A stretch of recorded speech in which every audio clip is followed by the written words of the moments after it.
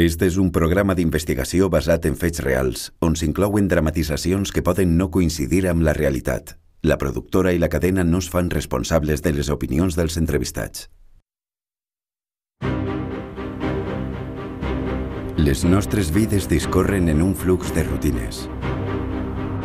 La regularitat ens fa sentir segurs i confiats. Però per sota hi ha un corrent de foscor que pot trencar la normalitat en qualsevol instant. Per a no oblidar-ho, ens endinsem en l'arxiu dels crims que més ens han marcat. Com el que va commocionar en 2003 la localitat d'Elda. Per als afectats, la vida ja mai serà la mateixa cosa.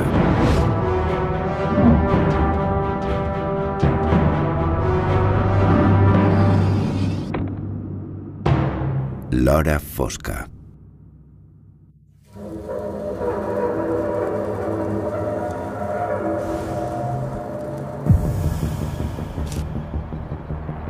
Què s'amaga darrere d'una mort violenta? I sobretot, qui s'amaga?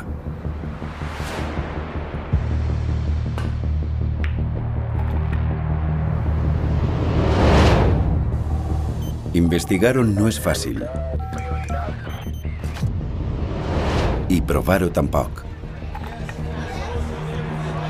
La línia que separa la innocència de la culpabilitat és extremadament fina.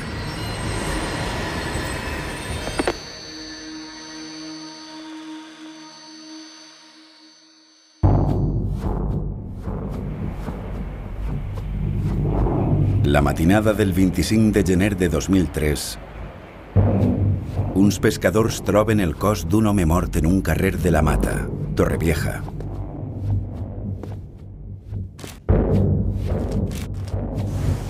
Es tracta d'una zona turística de segones residències i la majoria, en eixes dates, estan buides. En trobar el cos, els dos homes caminen fins a una benzinera propera, des d'on avisen la Guàrdia Civil. Son dos pescadores los que lo hallan en la calle del Fin de la, de la mata de Torrevieja. Hallan el cadáver, llaman a la policía, el cadáver aparece semidesnudo, eh, aparece eh, creo que boca abajo, con golpes, con marcas de sangre, con la ropa raída. A les set i mitja del matí, un veí de la pedania de la Mata a Torrevieja ha trobat el cos sense vida d'un home d'uns 50 anys que estava al mig del carrer del Fin. Creo que lleva ya varias horas, de las 7 de la mañana algún señor lo ha visto ahí tirado, lo han llamado a la policía, no sé lo que hemos oído aquí.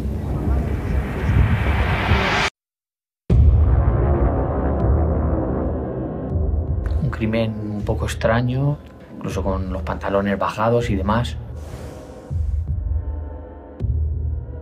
Y sobre todo se hablaba de también extrañamente de la poca cantidad de sangre que había en, la calle, con lo cual se barajaba la posibilidad de que el crimen se hubiera cometido en otro lugar y el cadáver se hubiera abandonado en, en esa calle de la Mata. La inspecció ocular revela en la roba que du el cadàver taques de carbonissa procedents d'un vehicle. Al puny de la camisa, els agents observen una marca en forma de semicercle. Esta marca podria correspondre al tub d'escapament del mateix vehicle. En les butxaques interiors del pantaló es troba sorra. La platja es troba a només 200 metres del lloc on apareix el cadàver.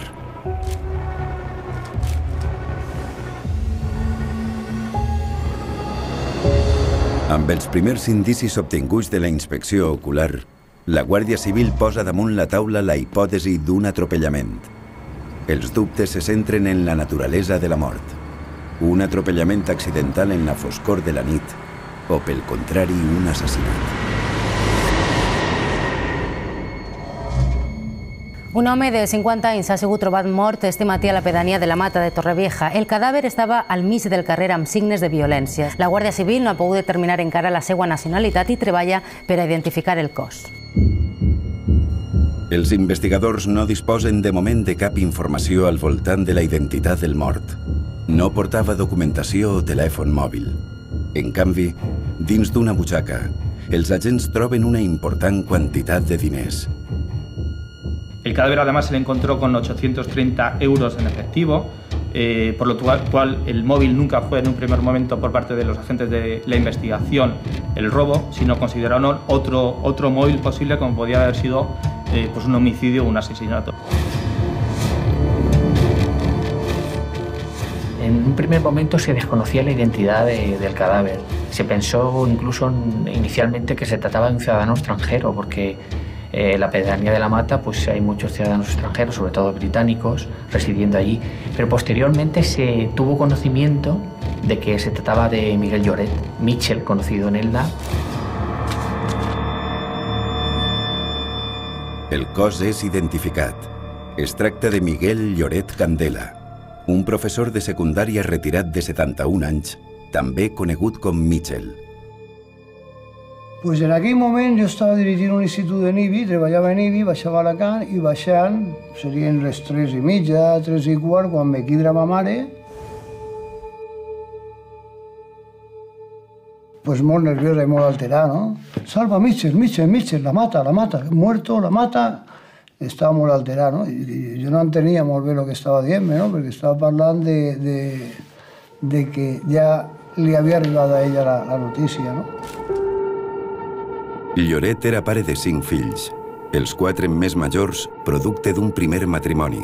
El quint, Miguel, és el fill més jove, nascut de la relació que Miguel Lloret va iniciar encara casat amb Dolores Sánchez, Lola, mestra de professió. La relación de Miguel amb Lola va durar vora 20 años. Me llama Miguel, su hijo, y, me dice que mi padre había aparecido muerto, que lo habían encontrado en, la mata, en una calle, y que parece que, le habían atropellado. Pues muy impresionante, ¿no? De repente, pues, el enterarte de esa noticia, claro, te deja... es un shock. Lola cuando, cuando recibió esta noticia, yo la noté como en shock. Lo que pasa es que ella como que se puso un caparazón alrededor porque ella no quería que le afectara todo esto, primero porque tenía a su hijo y, segundo porque ella, su vida continuaba, ella estaba en un colegio, ella tenía que, que dar la talla ante sus alumnos. Esa noticia sobrecogió a la ciudad. Cuando se tuvo conocimiento de la identidad del fallecido, eh, fue un impacto brutal en, Elda, por ser profesor de una academia, la Academia Lloret, que mantuvo durante varias décadas y por la que pasaron cientos de alumnos de Elda.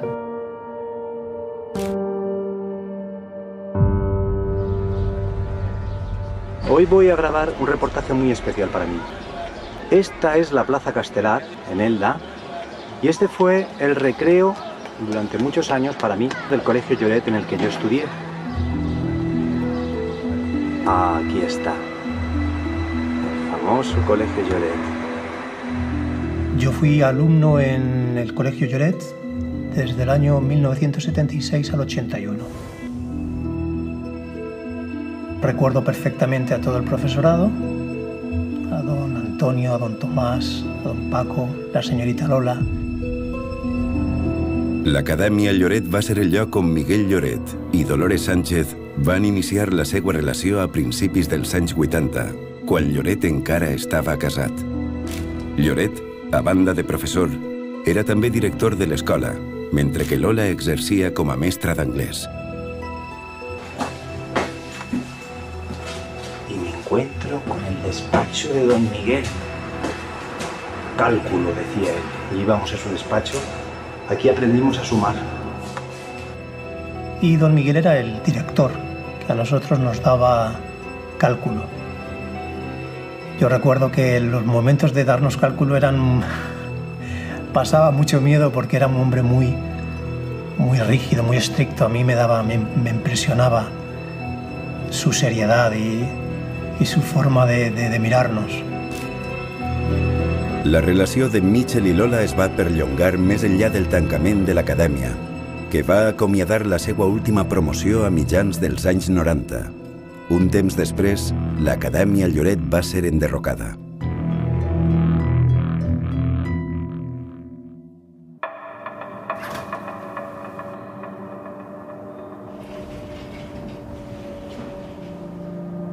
L'autòpsia de Miguel Lloret fixa la data de la mort entre les 6 i les 8 del 25 de gener. Les lesions més greus es troben al crani i el tòrax, amb quatre costelles fracturades. Per contra, l'informe de l'autòpsia no aprecia fractures a la part inferior de les cames, l'àrea del cos més susceptible de patir danys en cas d'atropellament si la víctima està de peus. Els agents valoren la possibilitat que la víctima fora atropellada quan ja geia a terra.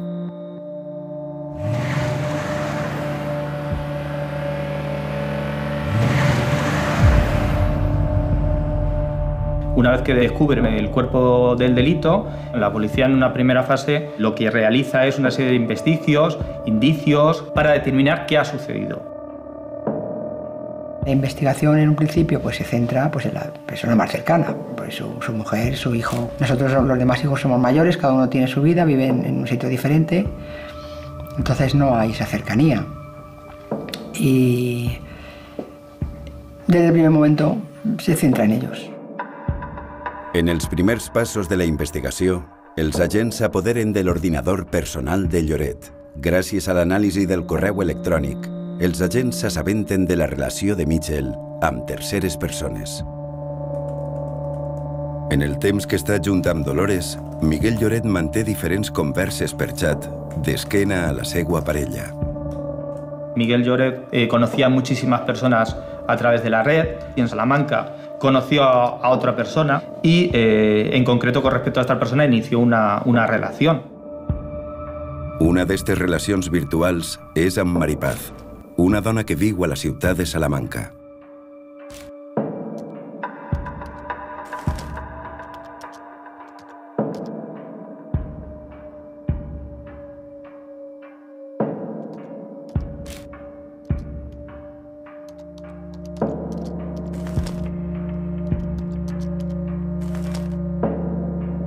Finalment, Lola descobreix la infidelitat de Miguel i l'agost de 2002 decidís trencar la relació. Ella es queda en un pis de Petrer, mentre que Lloret es trasllada a un apartament situat a la Mata. Lola decidió que, mm, que no, no, vivir juntos, no vivir juntos, pero no porque ella lo dejara de querer. O sea, es de esos amores eh, que pueden ser, verdad que pueden ser enfermizos, porque la, se supone que tú, tú, si una persona te hace daño, lo ideal es que la dejes de querer, pero eso es muy fácil decirlo, pero no es tan fácil hacerlo.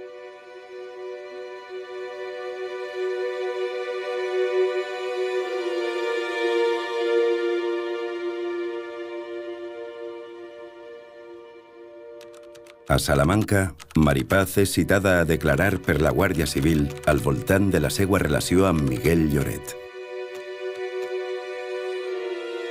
Conta als agents que el 19 de gener de 2003, només uns dies abans de la mort de Miguel, va rebre un correu amenaçador. Molt de compte. Hauries de pensar-te les coses amb més calma. No tens res a fer amb això home, perquè no és teu ni ho serà mai. Diga el que diga. Dedica't a un altre que puga ser-ho. La Guàrdia Civil identifica el correu electrònic des del que s'ha enviat el missatge. Pertany a Dolores Sánchez. Y ella nos lo contó, que le escribió, porque, porque Jolín decía, pues si te haces una querida, que sea querida para todo. Que venga aquí, que te cuide y no tenga que estar yo aquí cuidándote. O sea, pero en esos términos, nunca de que, de que Michel és mío, no.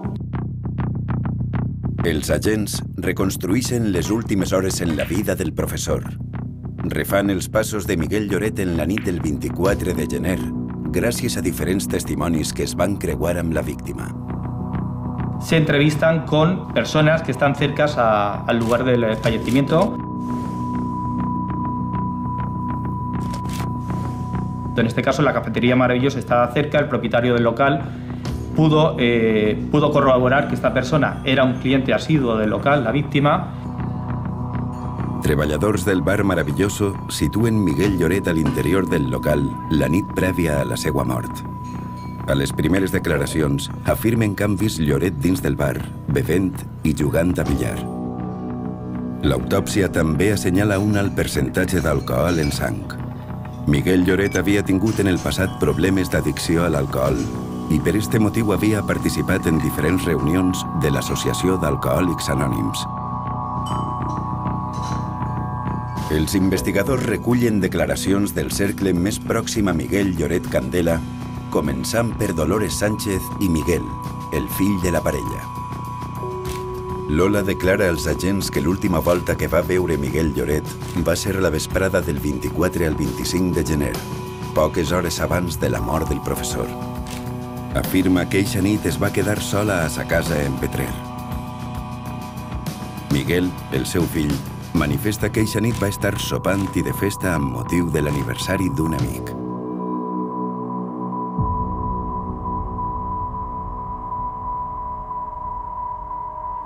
Al llarg de vora dos anys, la Guàrdia Civil treballa amb sigil seguint diverses línies d'investigació. La investigación policial se, se, se realiza de una forma muy hermética y los medios de comunicación apenas tenemos conocimiento de lo que se está investigando. Arribat este moment, la recerca es queda en un punt mort. Els agents, davant l'absència de resultats concloents, suspenen la investigació. De moment, no s'han trobat proves directes que assenyalen un possible culpable per la mort de Miguel Lloret Candela.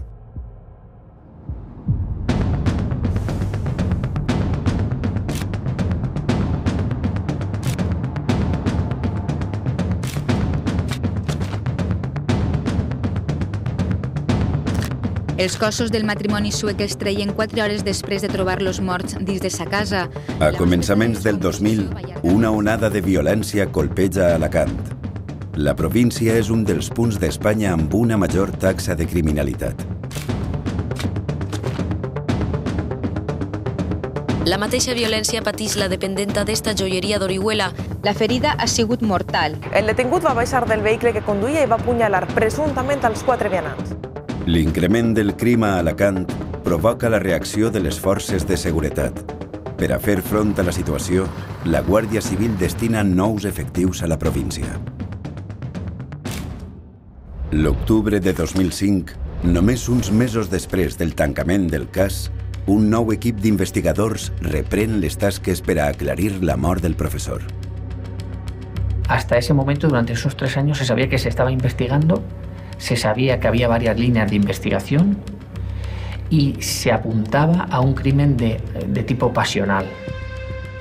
Amb la reobertura del cas, una de les primeres mesures adoptades pel nou equip d'investigadors és tornar a prendre declaració tant a Dolores Sánchez com al seu fill, Miguel Lloret Sánchez. Esta nueva fase de la investigación se produce dos años y medio después de, haber, de haberse localizado el cadáver lo que hace es mm, volver a recabar testimonios de las mismas personas que habían declarado a los pocos días de encontrarse el cadáver.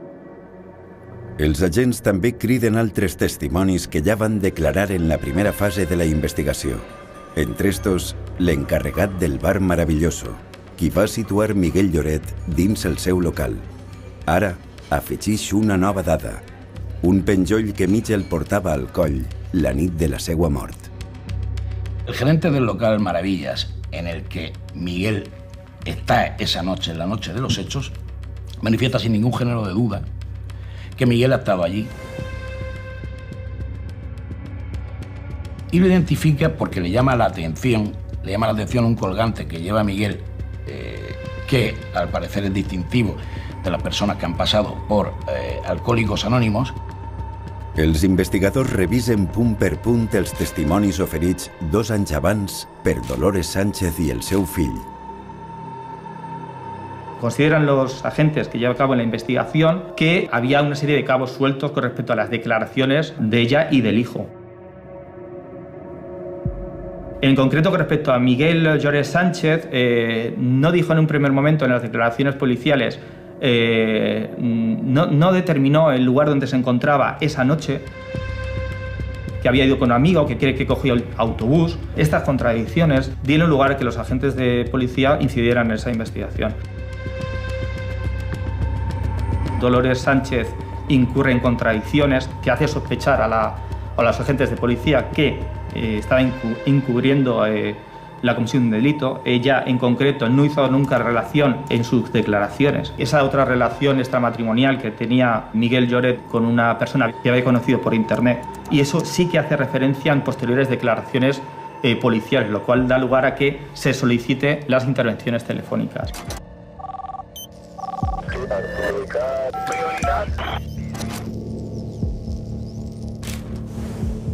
El novembre de 2005, els investigadors demanen la intervenció dels telèfons mòbils de Lola i el seu fill. En aquells moments, el jove estudia a Segovia i parla constantment amb sa mare.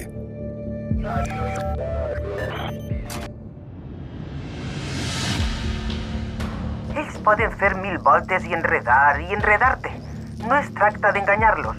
El que s'ha de fer és ser més intel·ligent que ells. Ells han de fer tot això perquè han de descartar. Han de furgar i furgar per anar descartant. Ho sé, ho sé, no et preocupes. És la seva obligació. Els interrogatoris a Miguel Lloret Sánchez es fan més i més freqüents a la recerca de possibles contradiccions. La táctica de la policía es una táctica, en ese sentido, cuando tiene un objetivo claro, bastante lógica. Ataca, ataca, entre comillas, presiona al elemento más débil que pueda haber de la relación para que el instinto maternal de alguna manera se vea afectado, se vea comprometido, se vea indefenso, no solamente con respecto a sí misma, sino con respecto a lo que más quiere, que es a su hijo. Han de buscar on no ha i han de descartar totes les possibilitats. I com les descarten? Portant les coses al límit. Val, val, mare, no seguisques, ja està. És que no has vist en judicis que hi ha hagut gent que ha declarat per la pressió? Ja, ja ho sé.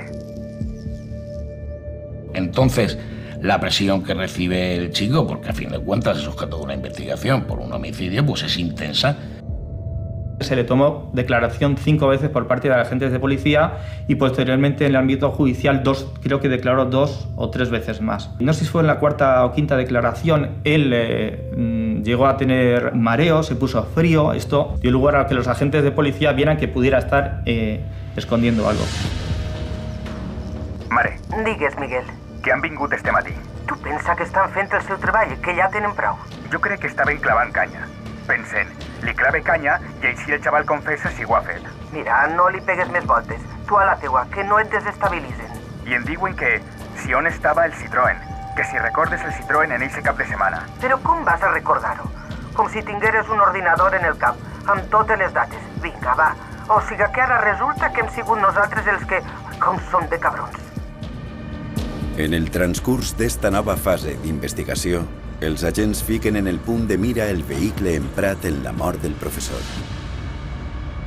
Como la muerte de Miguel Lloret se produjo presuntamente, tampoco tenemos la certeza, a causa de un vehículo, la Guardia Civil intuyó o pensó que el vehículo que se había utilizado para ello era el Citroën AX propiedad de Lola y que conducía a su hijo habitualmente en Segovia cuando estaba estudiando allí en la universidad. Se determina que fue intencionalmente atropellado por parte de, posiblemente o presuntamente por parte de su hijo, en connivencia con, parte, con la madre. Han agafat likes. El Citroën? Que ha sigut un Citroën. Això m'han dit. Que ha sigut un Citroën i que van a fer unes proves a veure si coincidissin amb el cotxe. Ho saben per l'impacte aleshores? Sí, per la marca del tub d'escapament, diuen. Que el tub d'escapament deixa una marca que és com una empremta d'identitat. O sigui que el pare l'atropellaren marxa enrere, clar. Sí, marxa enrere.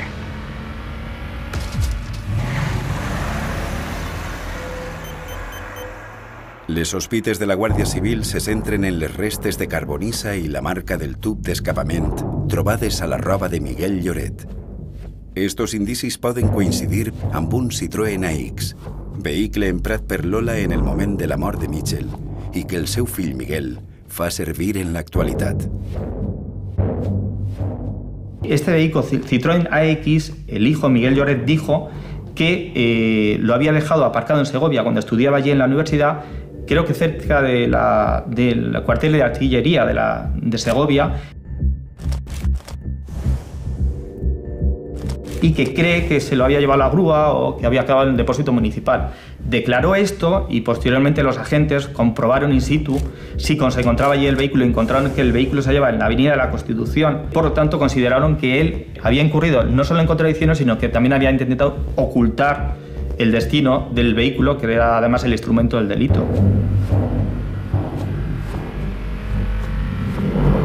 Ese coche habitualmente estaba aparcado siempre en una calle. Cuando la Guardia Civil le preguntó que dónde estaba aparcado, él pensaba que estaba en una calle en concreto y estaba 200 metros más para atrás en una calle adyacente. Es de los pocos asideros físicos, más allá de conversaciones eh, y de intuiciones, en los que el investigador se puede centrar. No estamos hablando de un vehículo especialmente llamativo, pero sí que es coincidente con el del hijo. Y por lo tanto legitima a la hora de interrogar al hijo para intentar, lógicamente, no que cometa un error, sino que manifieste si realmente es el culpable, encontrar una vía para poder inculpar. Mare. Digues, amor meu. Diuen que ese divendres que què és el que feren. Vinga, home, com he d'en recordar d'eixe divendres? Tu te'n recordes?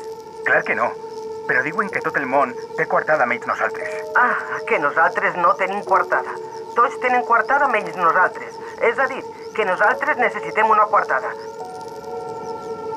En paral·lel als interrogatoris a Lola i Miguel Fill, els agents refan cadascun dels passos de la primera fase de la investigació. Tornen a citar testimonis com Maripaz, la dona amb qui Mitchell mantenia una relació a esquena de Lola i l'encarregat del bar Maravilloso. Busquen nous indicis que expliquen la mort del profesor. Se le replantea su declaración, de forma tal que la amplía introduciendo elementos que en las primeras declaraciones no había introducido.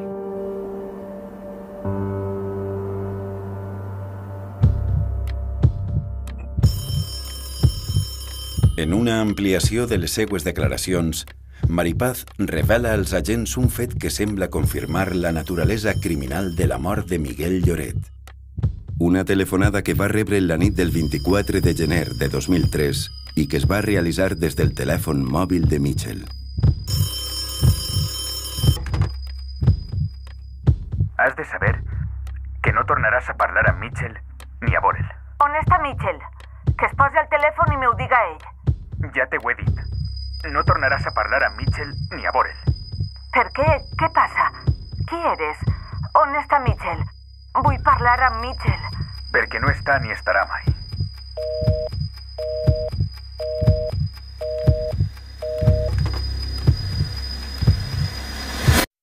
Otro indicio de peso que determinó la acusación de Dolores Sánchez y de, Miguel fue ese, esa, esa, llamada telefónica que recibe a las 23.28 horas el día eh, 24 de enero, en el cual Maripaz recibe una, esa llamada telefónica y le dicen claramente una voz de hombre que sepas que no vas a hablar ni ver más a Michelle y le dice que ella le pregunta que dónde estaba eh, Miguel y él le dice que ni estaba ni estaría nunca.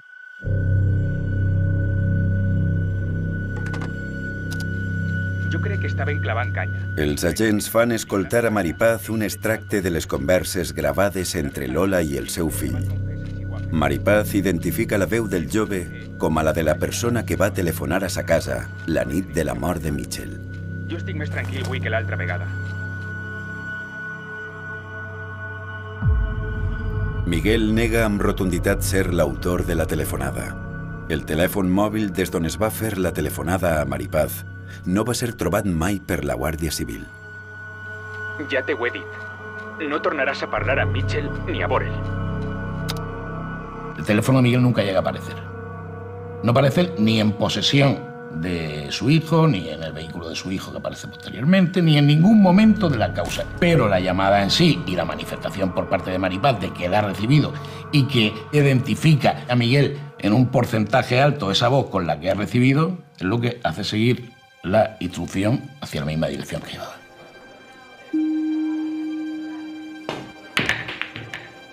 En declaracions fetes al nou equip d'investigació, el testimoni d'un dels encarregats del bar Maravilloso afegeix una nova informació sobre l'estada de Mitchell al local. La picabaralla entre el professor i una parella, una dona de mitjana edat i un xic més jove que cridà la seva atenció. El gerente del local Maravillas manifiesta sin ningún género de duda que ha tenido más que una conversación, una discusión con una pareja que estaba en la barra del local y al mismo tiempo precisa la hora, tanto en la que sale Miguel como el lazo de tiempo que hay entre la salida de Miguel y la pareja con la que ha estado discutiendo, que no va más allá de 10-12 minutos. Esa manifestación inicial la ratifica en sede de Guardia Civil y la ratifica en sede judicial. Y interviene como testigo en la rueda de reconocimiento, tanto de los objetos que se le muestran que podía ser los que portaba Miguel, como la persona que pudiera ser la que discutió con Miguel en la barra de su establecimiento. Y la identifica en la rueda de reconocimiento a Dolores.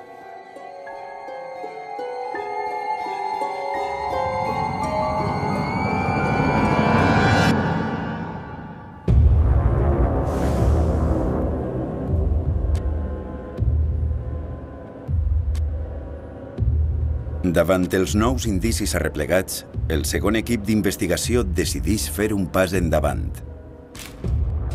El 24 de març de 2006, només quatre mesos després de la reobertura del cas, la Guàrdia Civil deté Dolores Sánchez, l'excompanya sentimental de Mitchell i el fill de tots dos. Són la viuda i el fill del mestre d'Elda, mort fa 3 anys i ara els imputen el seu assassinat. Dolores Sánchez i el seu fill han acudit a declarar al jutjat de Torrevieja seriosos però tranquils. Estan en llibertat amb càrrecs i no han volgut fer declaracions. De verdad, eh, hasta por respeto al juzgado y por deferencia a la declaración de hoy, eh, preferimos no hacer ningún tipo de manifestación. La acusación da por hecho que, eh, los, que mis clientes se encontraban allí ese día sin explicar cómo habían llegado, ni a qué hora habían llegado, ni por qué medio habían llegado, eh, y acabaron con la vida de su padre y pareja respectivamente de forma conjunta y sin explicar tampoco el medio utilizado para ello. Fue brutal en la población, nadie daba crédito porque Lola es una persona muy conocida, al igual que lo era Miguel Lloret, y entonces eh, no encajaba el perfil de una persona que pudiera haber cometido esa atrocidad, y más con la complicidad del hijo. Quan eh, detenen a Lola i a Mitchell, eh, bueno, primero es una sorpresa, ser? No és possible. A mí no me llegaba la ropa al cuerpo, o sea, es una, una sensación, ¿qué, qué, qué dicen? O sea, es que no lo podía ni pensar, pero es que acto seguido, que también han detenido al hijo. ¿Pero cómo que han detenido al hijo? ¿Pero por qué? Dolores i el seu fill de 23 anys han declarat davant la jutgessa de Torrevieja per separat.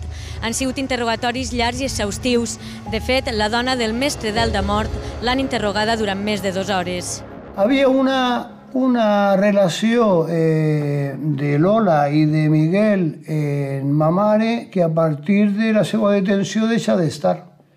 Ja no hi ha. I a més de que no hi ha aquesta relació, tampoc hi ha ninguna mm, comunicació de dir eh, nosotros no hemos sido, o sea, aunque estemos acusados y estén deteniéndonos, tener claro, es decir, la, la relació se talla hasta, hasta países coses, que és estrany, a mi me resulta estrany, ¿no?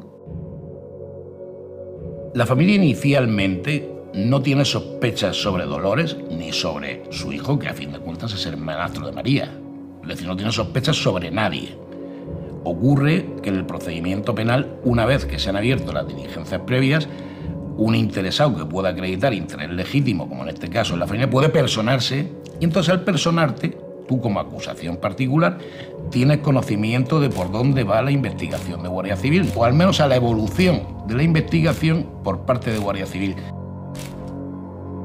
Para nosotros no tenía ningún sentido, porque claro, ni yo, ni creo que nadie de, su entorno podía pensar que, que lo había matado a Mitchell. Tampoco puedo entender para nada que inculpasen al hijo. Primera, porque mm, el padre ya era muy mayor. El padre ya no convivía con ellos. Si lo odiaba el padre, y en el supuesto caso que lo odiara, y quisiera que desapareciera su vida, le faltaba poco tiempo, porque ese hombre llevaba en su haber muchos infartos. Y luego, en el caso de que fuera Lola la que dijera, vamos a deshacernos del papá y me tienes que ayudar, o sea, implicar a su hijo. Lola es muy lista como para saber que si implicaba a su hijo en esto iba a salir muy dañado. Las sospechas de que hubiera podido maquinar este delito, eh, Dolores Sánchez, se deben principalmente a esa relación extramatrimonial que tenía el padre, Miguel Lloret Candela, eh, por parte de la, con, con, una tercera persona. Les investigacions de la Guàrdia Civil han permès descobrir que el van atropellar a l'eixida d'un bar perquè pensaven que estava amb una altra dona. I a mort, la dona li va arrencar un penjoll que portava al coll, un penjoll que ha sigut la prova clau perquè tres anys després la Guàrdia Civil l'ha trobat a la vivenda de la dona.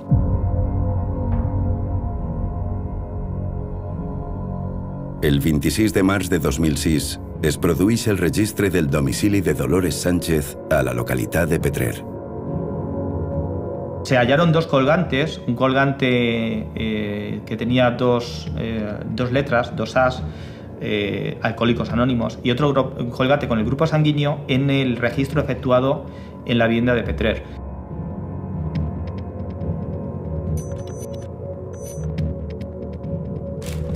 En concreto, estos colgantes, los agentes de policía encontraron una caja, una caja negra que contenía, entre otros objetos personales, creo que había también un reloj eh, del padre, esos dos colgantes. Estos colgantes se muestran a uno de los testigos eh, de la cafetería Maravilla. Este testigo en concreto lo reconoce como el colgante que portaba la víctima la tarde de los hechos. Lo que hacen es relacionar que si la víctima llevaba el colgante y ese colgante luego estaba o fue encontrado en la casa, pues sumaron dos y dos cuatro. Només uns dies després de la seva detenció, la jutgessa encarregada del cas ordena que Dolores Sánchez i el seu fill ingressen en la presó de Fontcalent. Bona part de la societat d'Alda es mobilitza ràpidament en favor de Lola i el seu fill. Una de les entitats que van fer pressió a favor dels detinguts va ser la companyia de teatre Destino Teatro, on Dolores era actriu. Sí que hubo un movimiento social en, en Elda de, de apoyo, por lo menos testimonial y moral, tanto hacia Lola como a su hijo, porque nadie daba crédito a la, a la investigación, a que la investigación resolviera que ellos eran los principales acusados de ese delito. Necesitan firmas para para apoyarla. ¿Tú, te ¿Tú la conoces? Años. Años i és una xica estupenda. Mobilització popular i arreplegada de firmes a favor de Lola i el seu fill. Demanen que els traguen de la presó de Fontcalent. Estan empresonats des de dilluns per presumptament haver matat el marit de Lola. Un bombazo, hijo, un bombazo. Pues ahí estamos todos nerviosas. ¿Tú te crees que una chica que la conoces de tantos años, que no haya tenido que decir nada de ella, que es una buena muchacha, que te digan de momento que está detenida? Por favor, es muy fuerte. Lola pertenecía a muchísimos grupos. Ella estaba metida en las, en las, amas de casa, pertenecía al grupo de teatro, hacía bolillos, luego pertenecía al otro grupo de teatro. O sea, ella estaba metida en un montón de colectivos, colectivos que la adoran. Entonces, claro, hubo una movilización tremenda, tremenda. Una chica muy divertida en ella, lo hemos pasado muy bien el rato que hemos estado con ella y estamos hechos polvos porque es que, es que lo que menos nos esperábamos. Una persona perfectament integrada a nivell de poble, que mai en la vida havia tingut cap d'atercat ni cap d'alteració en quant a la seva relació amb els demés. La pressió popular fa efecte i al cap d'unes setmanes Lola i el seu fill ixen en llibertat provisional amb càrrecs a l'espera del juí. Han hagut de dipositar fiances de més de 10.000 euros i queden obligats a presentar-se cada mes en el jutjat.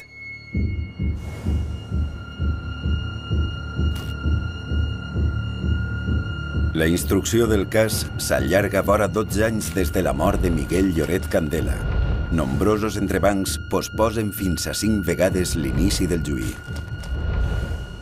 Finalment, en novembre de 2015, s'inicia el procés als jutjats d'Ells. Han passat quasi 9 anys des de la detenció dels dos acusats. Ara, un jurat popular serà l'encarregat de decidir la innocència o culpabilitat de Dolores Sánchez i el seu fill, que enfronten una pena de 20 anys de presó per un delicte d'assassinat amb premeditació. Bueno, los móviles principalmente de, de, este caso en concreto fueron móviles pasionales. Ella es la que había ideado el, el plan, según la, las conclusiones, y él había, posiblemente él, en compañía de ella, lo había ejecutado con, con el atropello.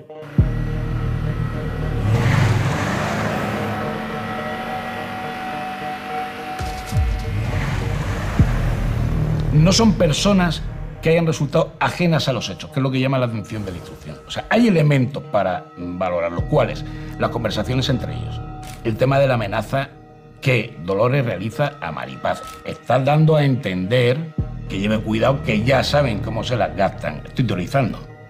Pero lo que, lo que aparece en la instrucción, aparece una llamada que recibe Maripaz de un chico joven en la que le dice no lo vas a volver a ver nunca más. Aparece un testigo que dice que lo ha visto discutir con una señora, lo identifica plenamente y ese testigo identifica a esa señora en una rueda de reconocimiento.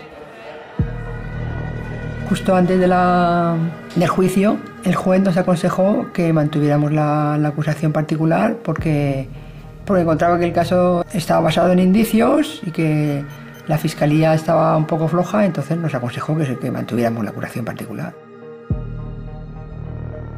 Habían cosas que podían apuntar hacia ellos, pero había cosas que no encajaban, habían cosas que sí y había cosas que no.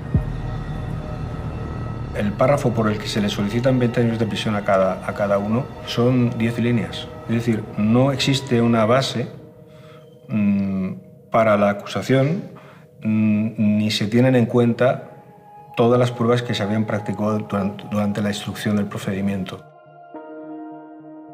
Existe un registro en Casa de Dolores en que aparece una serie de elementos que inicialmente podían pertenecer a Miguel o que debían estar en posesión de Miguel o que estaban en posesión de Miguel en el día de los hechos, en cambio aparecen en su casa, cómo han sido trasladados allí. Todo eso, todo eso determina que existan indicios más suficientes para plantear una acusación. Esa acusación es admitida por el juez.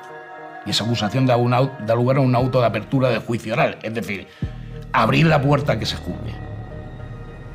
El procés judicial per la mort de Miguel Lloret es desenvolupa al llarg de diferents sessions en què les contradiccions són una constant tant per les proves presentades com per les declaracions dels diferents testimonis cridats per la defensa i l'acusació. En el transcurs del juí, l'advocat dels acusats presenta la declaració d'un testimoni que serà clau en el procés i del qual no es tenia constància al llarg de la fase d'instrucció.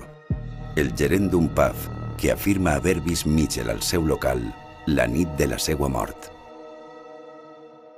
Un aspecto muy, muy importante de la investigación es lo que hace la víctima en las últimas horas de su vida. Y en las últimas horas de su vida estuvo en un pub de ambiente homosexual en, La Mata, a escasos metros de donde fue encontrado muerto horas después.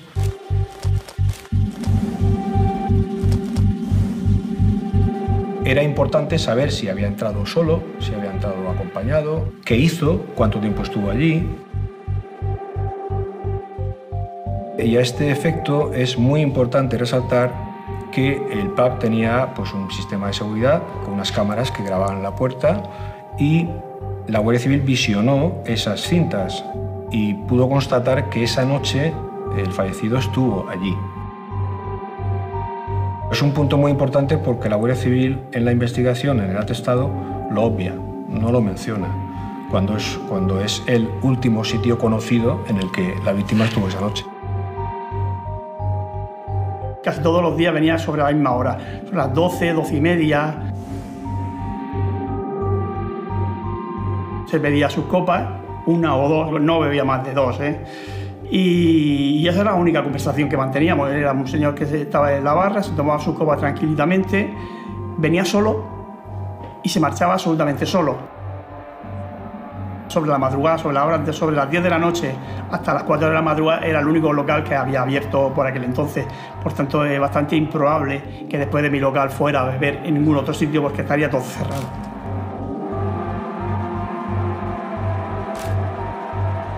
Nosotros les llegamos a decir a la Guardia Civil que teníamos las cámaras, que podíamos comprobarlo y que podíamos visionarlo y así estuvimos durante toda una tarde viendo los días que la Guardia Civil me requería para, para ver eh, los días que, a qué hora entraba y a qué hora salía. El testimoni de l'amo del pub Boys canvia el succeït a la nit prèvia a la mort de Miguel Lloret. La diferència més important se centra en els horaris establits pels investigadors. No se fue más allá de entre las doce y media, la una. El señor entró sobrio, se fue sobrio y no iba absolutamente con nadie. El índice de alcohol que llevaba la víctima eh, cuando fue localizada, y la autopsia así lo ha demostrado, era muy alto. Este elemento cobra especial relevancia porque mm, la Guardia Civil no le recibió declaración a esta persona, al dueño de, de este local. Se desconoce por qué. Eh, Yo como defensa solicité su declaración y la aportación de la cinta por parte de la Guardia Civil a la causa y la Guardia Civil contestó eh, mediante, un oficio judici- mediante un oficio al juzgado que esa cinta no la habían encontrado, que la habían visionado pero que no la habían encontrado.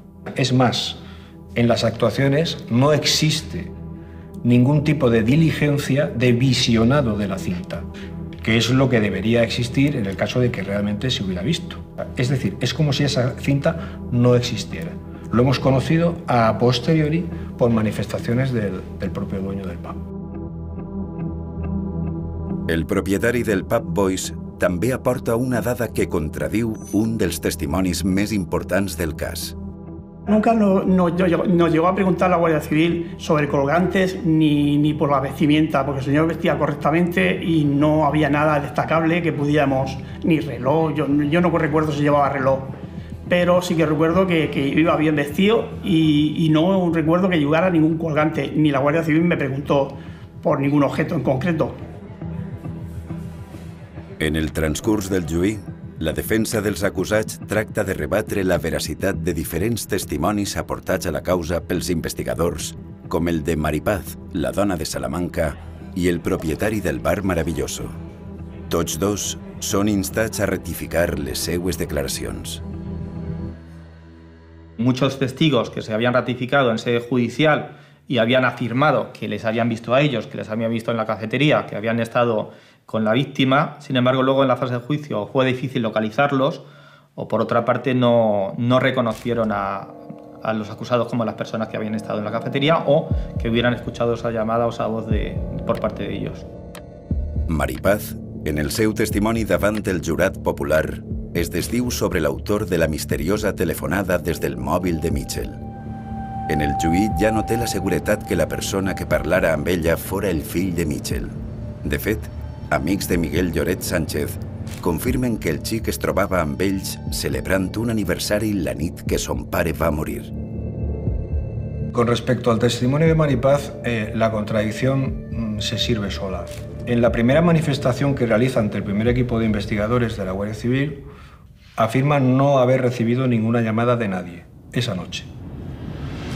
Cuando llega el segundo equipo, dos años y medio después, no solamente recuerda mm, recibió una llamada, sino que recuerda el contenido de esa supuesta llamada.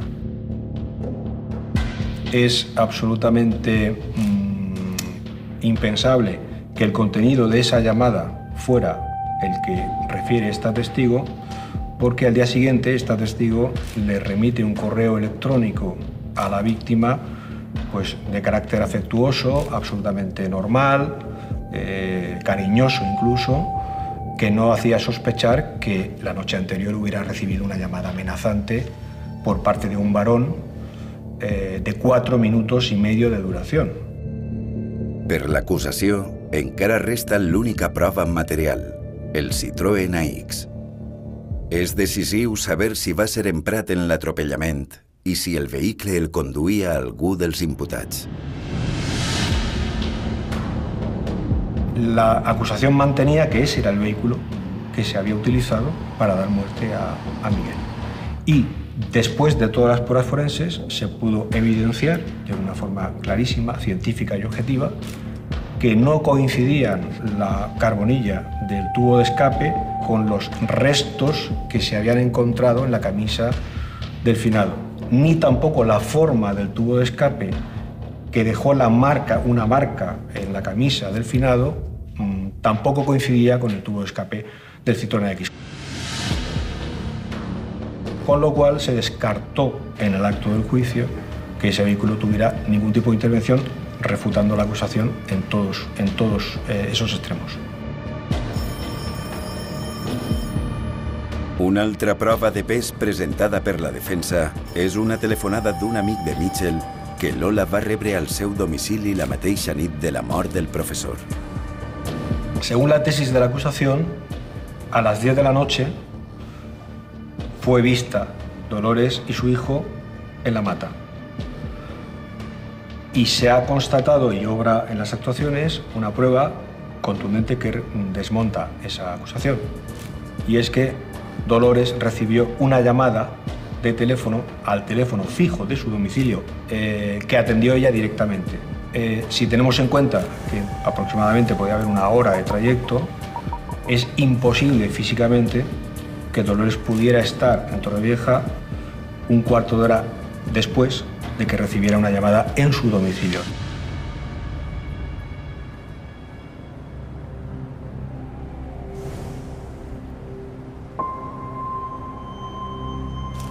El 3 de desembre de 2015, amb el juí acabat, el jutge pren una decisió que no té precedents en els tribunals d'Alacant. Davant l'absència de proves incriminatòries i les evidents contradiccions dels testimonis respecte a les declaracions fetes en la fase d'instrucció, el magistrat decideix dissoldre el jurat popular just abans que puga emetre un veredicte. Immediatament després, el jutge absol els dos acusats de viva veu. Fue una decisión del presidente del tribunal y sobre la que tampoco hubo ninguna discusión. El juez tomó esa decisión porque de la prueba practicada no, no había ni una sola prueba de cargo, ni una sola prueba y por supuesto ningún tipo de indicio que justificara seguir con el procedimiento. El veredicte d'absolució posava fi a una acusació que s'havia perllongat per més de 9 anys. Amb esta resolució, Dolores Sánchez i el seu fill eren lliures. Es un fallo del sistema que deja pasar nueve años en resolver un caso, porque de lo que se trata es de resolver un crimen, nada más, no de, no de mm, condenar a inocentes, y eso está claro que no. O sea, hay que buscar quién ha sido, qué ha pasado y, y solucionar el caso, ¿no? Y es lo que, no, lo que pienso que no se hizo, pienso que el sistema falló. Podem sospitar o podem veure coses estranyes, no hi ha una aclaració de res. No hi ha una prova contundent que diga mira, s'ha filmat, mira la foto, està claríssim que ha sigut... No, això no ho tens en ningú moment. S'ha fet un judici i aquest judici no tenia proves per a posar-se en. La familia también han pasado esos 10 años llamándolo continuamente, haciéndoles pensar mal de quién ha sido la pareja de su padre, haciéndole pensar mal de su hermanastro, acordando finalmente que ellos no son, dicen, vale, ¿y quién fue? ¿Y cómo fue? Y ahí, y ahí queda esa nebulosa sin resolver. Amb esta sentència, la mort violenta de Miguel Lloret Candela queda per sempre més, com un crim sense resoldre. El delicte per l'assassinat de Miguel Lloret prescriurà en 2023. Les investigacions mai més s'han reprès.